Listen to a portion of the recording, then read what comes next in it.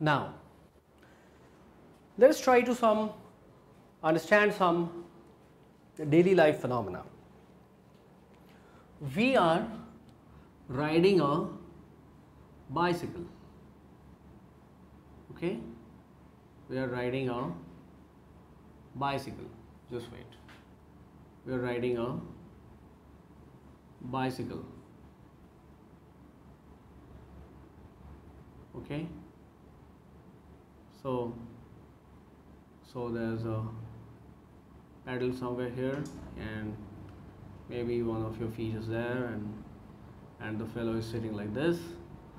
And from here there is a handle that you are holding. Okay? Fine. Now what happens when we when we are pedaling a bicycle we find that if we stop pedaling the bicycle starts tends to stop. Okay? If we stop pedaling then it tends to stop. Now this is what prompted the people earlier to say that stop is the natural state of motion that's why it is trying to stop. And we just cannot do anything about it.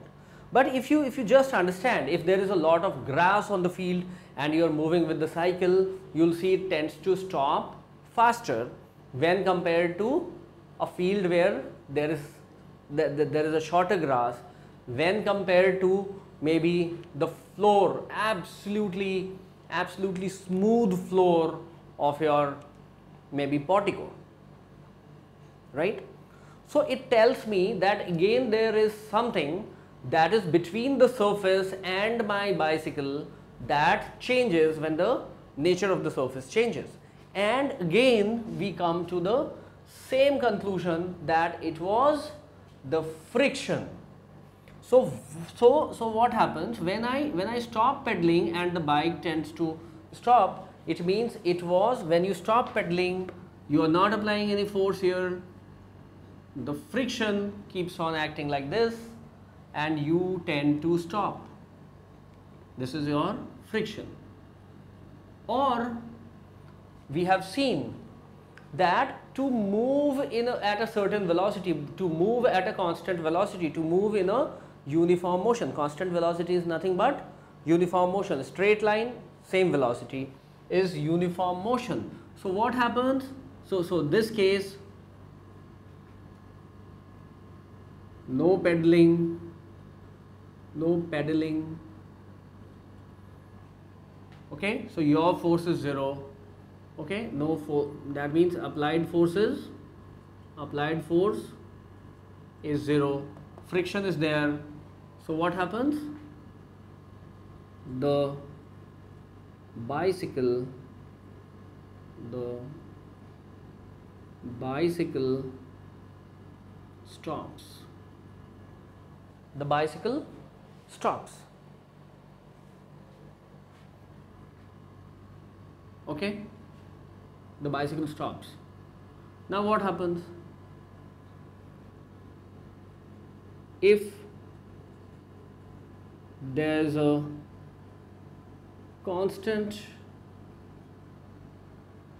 applied force we we know by our experience we know by our experience so so the next case so the next case i draw on the same i am applying a force the black one the friction is again the same. I see if there is a constant force if there is a constant applied force so as to just balance the frictional force frictional force. What happens? The frictional force the bicycle moves with a constant velocity. Now what happens in this case? There is no net force that is being applied. In this case, no net force is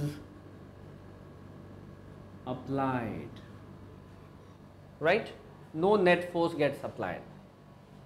That means the forces are balanced forces. Thus thus we see that in presence of a balanced force a balanced force the bicycle the bicycle moves with a uniform motion.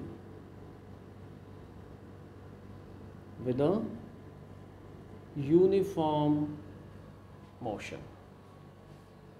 Correct?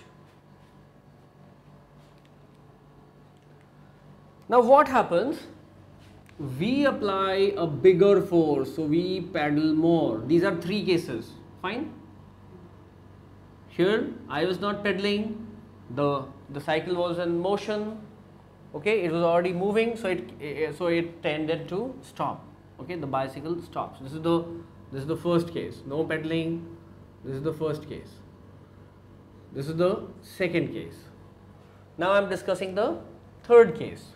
The third case is the applied my applied force is more than the frictional force i start gaining speed. My speed starts moving up right? So so if there is a there is a force that that is more than the frictional force.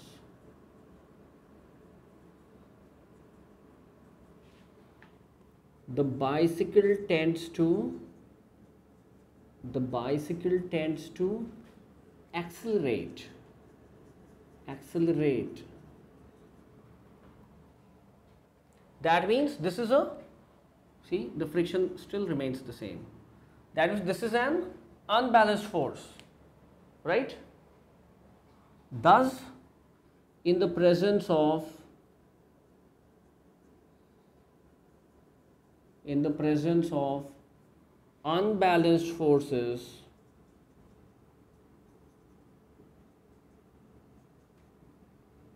the objects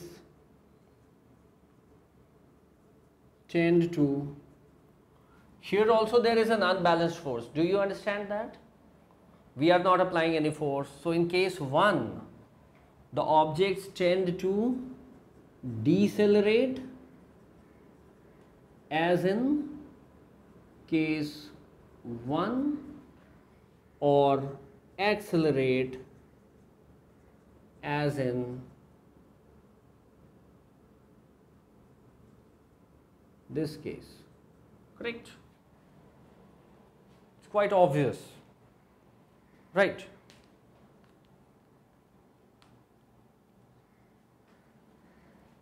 Now same with the ball. What if there is a ball here? Okay? Now what happens?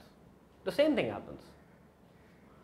If I do not apply any force and it is stationary, it simply does not move. Okay?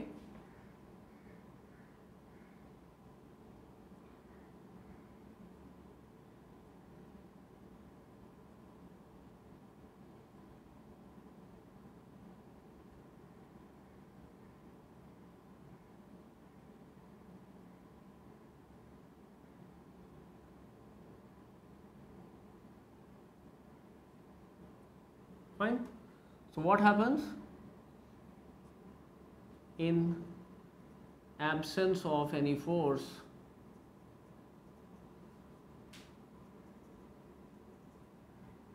the ball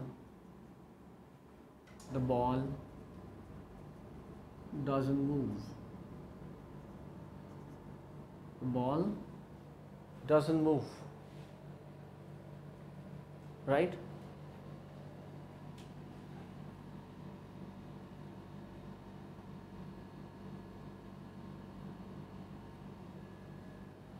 Now again the same thing. If I if I kick it, then it starts moving. If, if, I, if I apply just a very small force on it, just so small a force that it is balanced by just so small a force that this is balanced by the frictional force, it will still not move, right? It will not move. Though it is a very, very small frictional force, still it will not move, okay? If I, if I kick it, then after some time it rolls to a stop. The same thing. The force is absent, the frictional force is present, it tends to stop. If it's a smoother surface on which I hit it, it, it, it travels a longer distance. If it is smoother still, maybe on a floor, on a very well polished wooden floor with no with no no faults and flaws in between, a very smooth floor, it keeps on rolling. If you maybe smoothen the ball as well as they do in the bowling alleys, right? What happens? It, it keeps on moving, moving and moving for a long, long distance before it, it, it can come to a stop. So again, the same kind of thing is happening.